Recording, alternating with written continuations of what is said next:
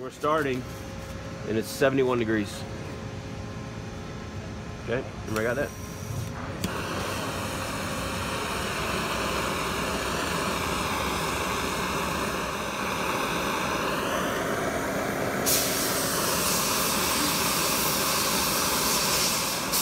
All right, so that's about we're 30 seconds.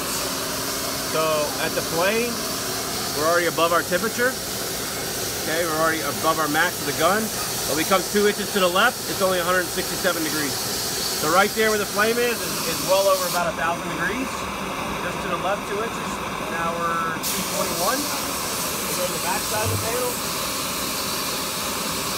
On the back side, directly behind the flame, it's 70 degrees. Has not changed degrees. Okay, I can still problems, no thermal transfer. Okay, a little bit of heat coming off the flame, just a bounce back but I can still grab the board. The board's not hot. Back of the board, still 70 degrees. Okay?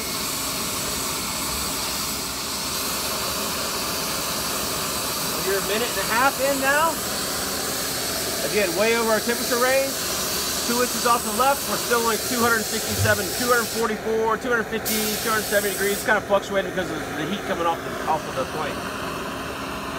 Come behind the board again still 70 degrees. I still have not changed my thermal properties of the foam. I can still grab the board. Even with direct flame at over 1,000 degrees. We could do this all day. We already know this, even in the, in the tunnel burn, the kiln, this carries a one hour rating by itself. This half inch board, with even our max thickness of four inches of foam behind it, carries a one hour rating. If we heated this to 2,000 degrees, 1,700 degrees during the one hour fire test for our, loaded or uh, restrained assembly test for UL 263 or uh, E119. We would do this for an hour. After an hour, the thermal transfer finally gets here and gets back here, and it does ignite the foam after an hour. Okay, but it takes about an hour and eight minutes for that thermal property to finally get back here into the foam. So we can do this all day long. Literally, we can do this literally all day, and that's all you're gonna see. Nothing is gonna happen. So the back of the board, 72.8 degrees on the back side of the board. Thermal transfer is not happening. Still grabbing the hold of the board. No problem. That's the beauty of magnesium oxide. Magnesium oxide has tremendous fire properties. It does not transfer heat. If you did this with a piece of metal, I couldn't touch it. I did it with a piece of, of, of, of urethane or a piece of aluminum or any kind of plastic or high pressure laminate, it'd be done, it'd be cooked, it'd be melting by now. Okay? Not gonna do anything. Now we're four minutes in. Four minutes in, I can't see it.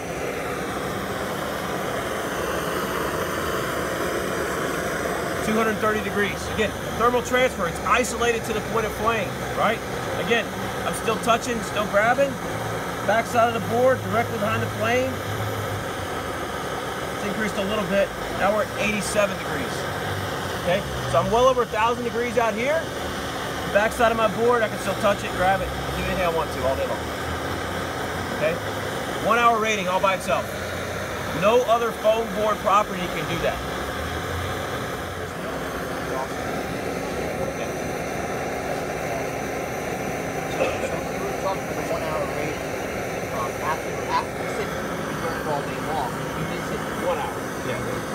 With this torch all day, but in, in the actual kiln of, of the furnace. So, so here we go.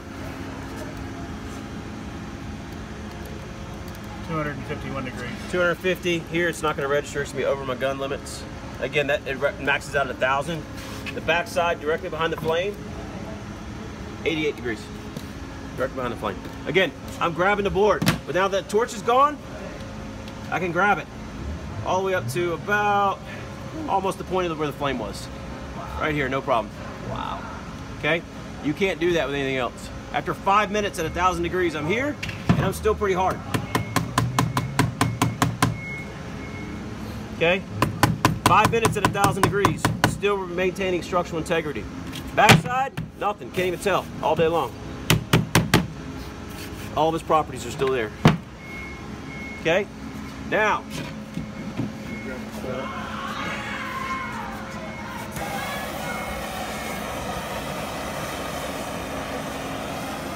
All right.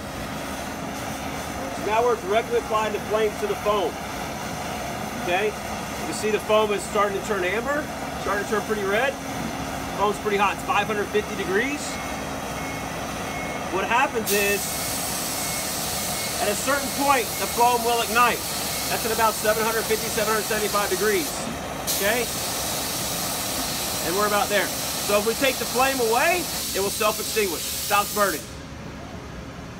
Nothing there to burn. Done. Yeah?